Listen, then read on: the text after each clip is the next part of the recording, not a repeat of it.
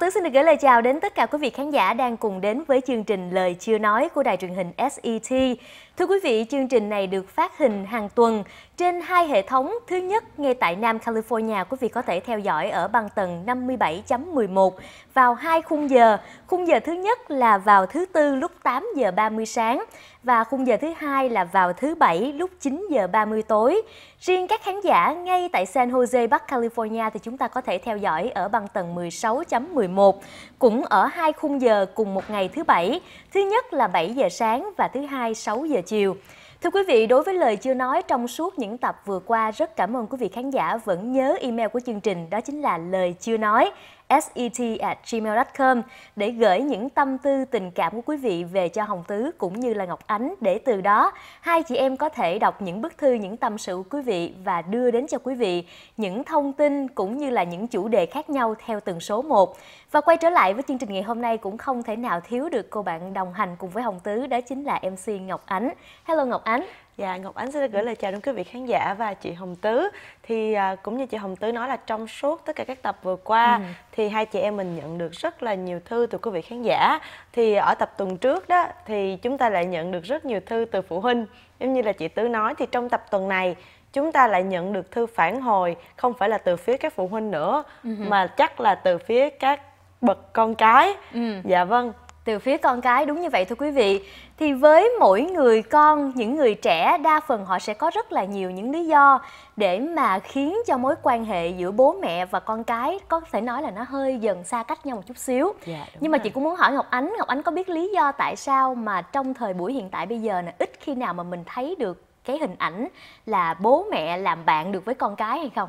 Ừ cũng hơi cũng hơi ừ. hiếm ha tại vì em nghĩ là đa số một phần nữa là khi mà bắt đầu mình lớn lên rồi ở cái tuổi trẻ thì thường ừ. mình sẽ nghĩ là bố mẹ mình có phần hơi cổ hủ một chút xíu có ừ. những cái suy nghĩ nó còn chưa có được gọi là hiện đại cho lắm cho nên là mình cũng ừ. ngại chia sẻ tại vì khi chia sẻ thì chắc chắn là sẽ có những cái trái ý kiến trái chiều ừ. thì cái điều đó sẽ làm cho có thể là mình sẽ tranh luận gay gắt một chút xíu mình thường mình né đúng. đi những cái đó đúng không chị thì à, thôi bây giờ chúng ta sẽ vào bức thư đầu tiên của một vị khán giả gửi về cho lời chưa nói thì bức thư như thế này thưa quý vị thương gửi lời chưa nói sau khi xem vài số của chương trình và xem tập tâm sự của cha mẹ tôi chợt nhận ra là mình đã quá vô tâm khi đôi khi quên việc cha mẹ của tôi vẫn đang chờ tôi ở nhà về ăn bữa cơm gia đình Thật tình mà nói, từ khi kết hôn và sinh con, tôi dường như bận rộn nhiều hơn với trước đây.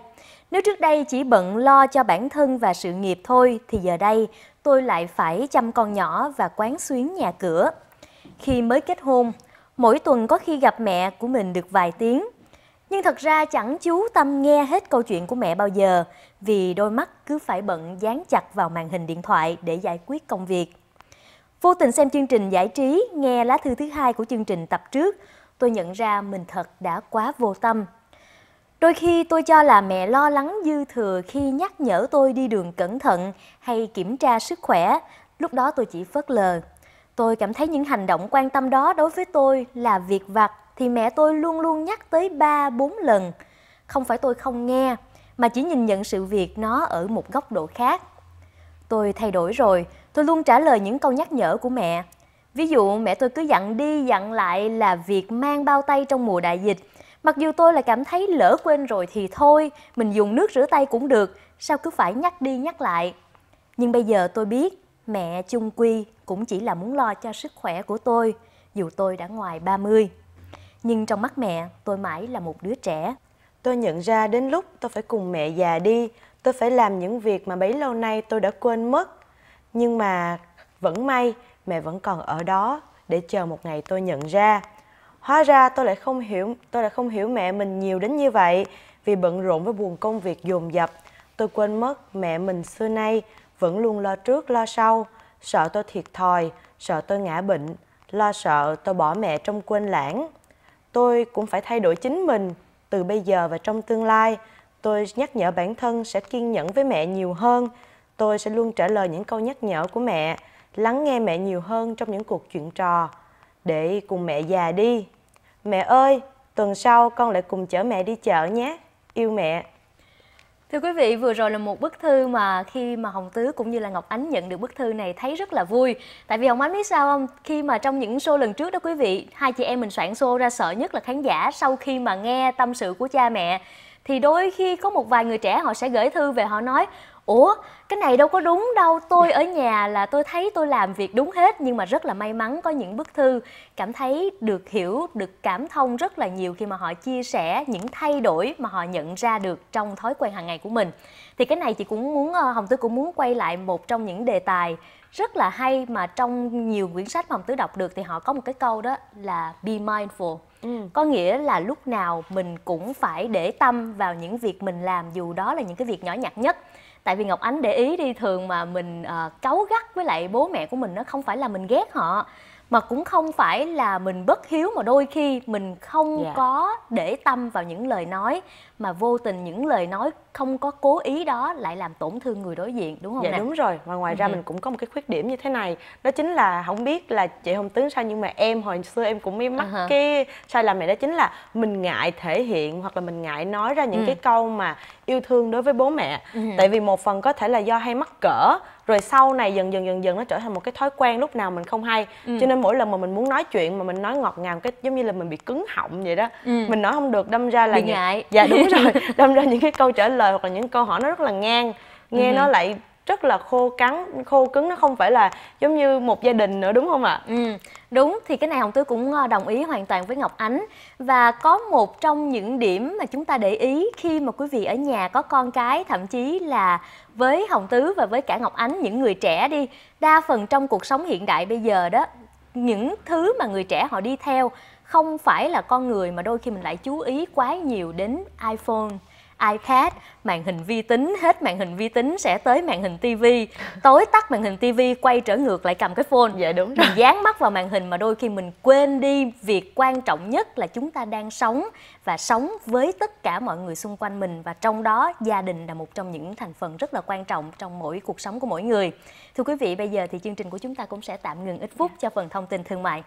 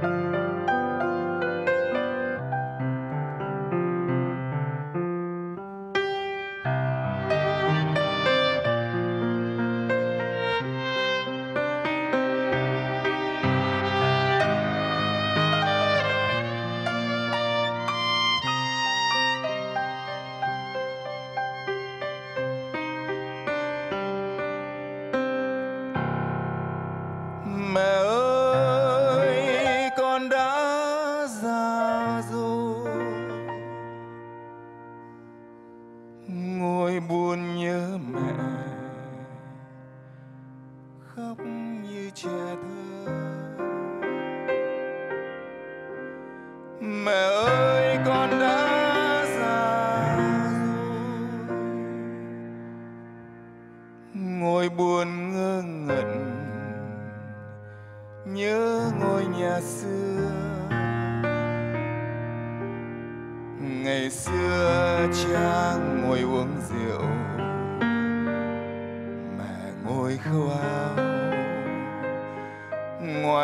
hiên mùa đông cây vàng lá rụng.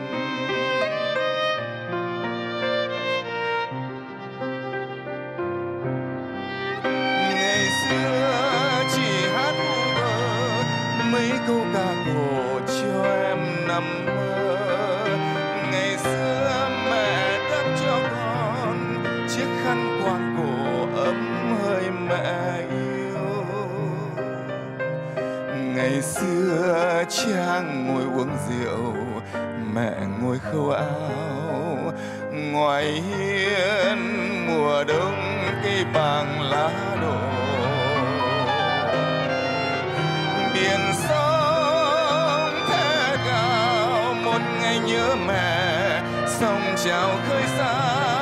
Trời gió mưa nguồn, một ngày khóc mẹ, trăng tàn sao rơi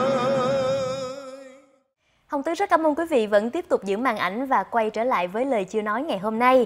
Ca khúc quý vị vừa lắng nghe là một sáng tác của nhạc sĩ Trần Tiến, bài hát được mang tên Mẹ tôi, rất phù hợp với chương trình ngày hôm nay. Rõ ràng là từ đầu chương trình đến giờ chúng ta nghe thư, chúng ta chia sẻ với nhau và nhận ra được một điều. Đó chính là cả hai thế hệ đều có những cái bất đồng quan điểm riêng mà đôi khi những bất đồng quan điểm này nó lại xây dựng một bức tường vô hình ừ. khiến cho khoảng cách của hai người, của con cái và cha mẹ ngày một xa dần với nhau. Yeah. Dạ. Thì không biết là đối với Ngọc Ánh thì Ngọc Ánh còn nghĩ ra được những nguyên nhân tại sao mà cái khoảng cách này một ngày một nó lại xa không nè? Em nghĩ là do một phần nữa là chúng ta khá là có thể là cái tôi của mình hơi lớn ừ. ở cái tuổi trẻ của mình thì cái tôi của mình lớn và mình Đúng. cũng muốn chứng minh là mình trưởng thành rồi mình có nhiều uh-huh. kinh nghiệm hơn hoặc là mình giỏi hơn cái thời hồi xưa rất là nhiều uh-huh. tại vì trong mắt bố mẹ thì lúc nào mình cũng là con nít cho nên là mình thì là mình lại không thích như vậy uh-huh. cho nên là mình muốn là trong các cuộc tranh cãi thì em thấy là thường mình sôi nổi hơn một chút tại vì mình cũng muốn chứng minh là những cái thông tin mà mình đưa ra hoặc uh-huh. là những cái lý do mà mình đưa ra nó đều có lý cả uh-huh. cho nên đâm ra là bố mẹ khi mà nghe mình cãi ngang như vậy thì cũng sẽ hơi khó chịu một chút Đúng. tại vì sẽ thấy bắt đầu mình có những sự thay đổi ừ. bắt đầu lo sợ là ồ nó nó đi hơi xa phải đưa nó về thôi thì những cái lúc đó thì cái cuộc tranh cãi của mình nó sẽ không có hồi kết ừ. dạ đó thưa quý vị qua rất là nhiều những trường hợp nhưng mà chung quy nghĩ tới nghĩ lui nghĩ lại thì chúng ta thấy rõ ràng bậc phụ huynh đấng sinh thành lúc nào những lời nói nghe có vẻ không lọt tai lắm hay là nghe có vẻ như là họ không quan tâm đến cảm xúc của mình nhưng cuối cùng mục tiêu cuối cùng của họ vẫn là muốn bảo vệ những đứa con dạ đúng, đúng rồi không nào? dạ vâng có một câu nói rất là hay của ừ. một người nước ngoài thì tên là Henry Ward Beecher thì ông có nói tạm dịch là như thế này là chúng ta sẽ không thể nào mà hiểu được cái tình cảm của cha mẹ dành cho mình cho đến khi mình trở thành cha mẹ ừ. và đúng như trong cái lá thư sắp tới mà một vị khán giả sẽ gửi về cho chúng ta nó cũng có những cái tâm trạng nó thay đổi khi mà ừ. bắt đầu chị mang thai ừ. dạ vâng thì chúng ta bắt đầu với lá thư này gửi một lời xin lỗi đến bố mẹ của con tôi là một bà mẹ ban bầu đang đến dần với những ngày cuối của thai kỳ nghe hơi nhanh nhưng còn đến 1 đến 2 tháng nữa tôi mới sinh không biết là cơ duyên nào đó lại xem chương trình ngay đúng vào tập tâm sự của cha mẹ tôi cảm thấy xót xa và có lỗi với chính bố mẹ của mình. Trước đây tôi cho là mẹ lo lắng dư thừa hay nhắc nhở tôi rất nhiều thứ như là kiểm tra sức khỏe. Những lần đó tôi đều dạ dạ rồi cho qua. Tôi cũng không thích những bữa ăn gia đình vì nó làm tôi cảm thấy ngột ngạt với những câu hỏi thăm của bố mẹ. Không phải là tôi sợ phiền, nhưng mà tôi sợ nói ra bố mẹ càng thêm lo. Nhưng tôi quên là đôi khi bố mẹ chỉ muốn được lắng nghe con mình nhiều hơn – được cùng lo lắng cùng với tôi chứ không phải là những câu nói con không sao hay không có gì đâu ạ. À. Chắc lúc đó bố mẹ tôi đã buồn nhiều lắm. Tôi nhận ra điều này khi bắt đầu mang thai.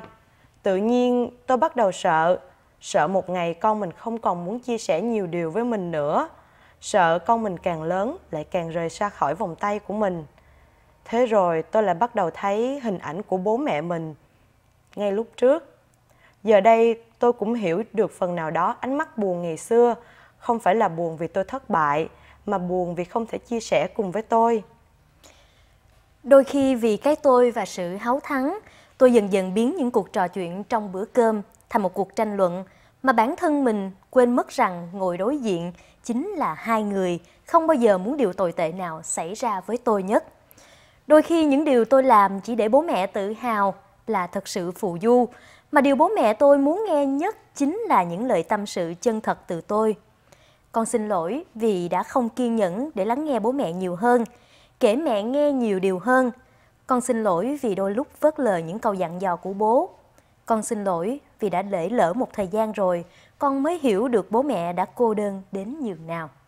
Ngọc Ánh à, sau khi đọc bức thư này thì à, em thấy như thế nào?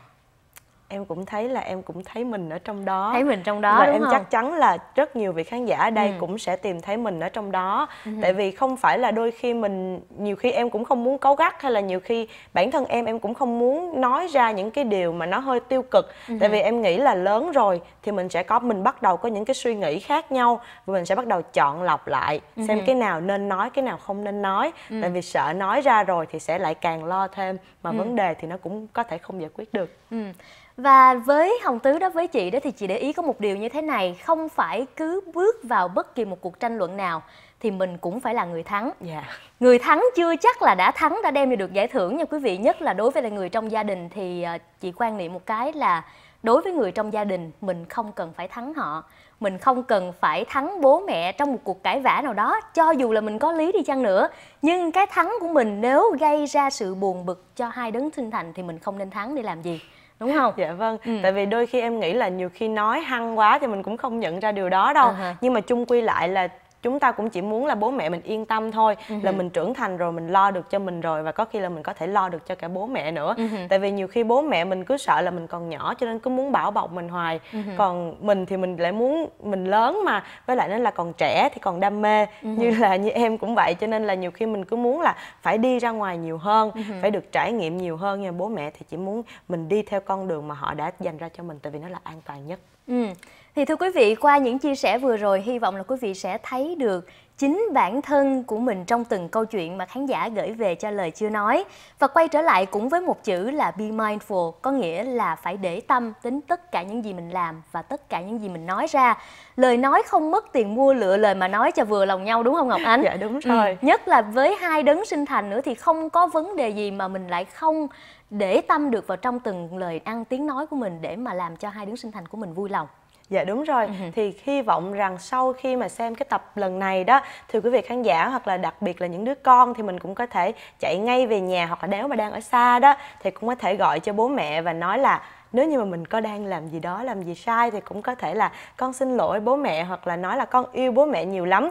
Cứ thử nói ra một lần thì chắc chắn là những lần sau mình sẽ bớt ngượng miệng hơn rất là nhiều. Tại vì dù sao khi mà nghe được những câu nói đó cho dù trong hoàn cảnh như thế nào thì bố mẹ mình cũng sẽ rất là hạnh phúc và rất là vui về điều đó mà có thêm một điểm nữa mà Hồng Tứ tin chắc là những bạn trẻ nào mà dành thời gian nói chuyện với bố mẹ sẽ nhận ra được một điều là những lo lắng, những chuyện khó khăn mà chúng ta đang vượt qua trong thời tuổi trẻ.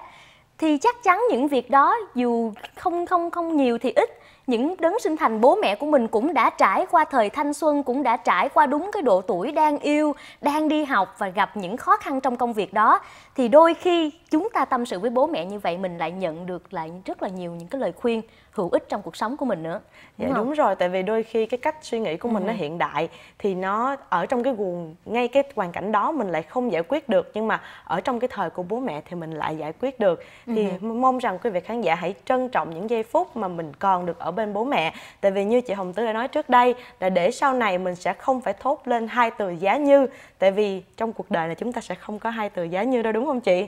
Dạ vâng, thì Ngọc Ánh và chị Hồng Tứ rất là vui khi được nhận được rất nhiều thư tâm tình từ quý vị khán giả. Hy vọng rằng quý vị khán giả sẽ gửi thật nhiều thư nữa đến với cho chương trình qua email lời chưa nói set at gmail.com và cũng có thể xem chương trình trên hai băng tầng 57.11 vào lúc thứ tư 8 giờ 30 sáng và thứ bảy 9 giờ 30 tối. Băng tầng thứ hai là 16.11 vào thứ bảy, lúc 7 giờ sáng và 6 giờ tối. Ngoài ra thì quý vị cũng có thể theo dõi là những tập đã chiếu trước đây trên kênh YouTube của đài, đó chính là Sài Gòn Entertainment Television. Hy vọng rằng chị Hồng Tứ và Ngọc Ánh sẽ gặp lại quý vị trong chương trình lần sau.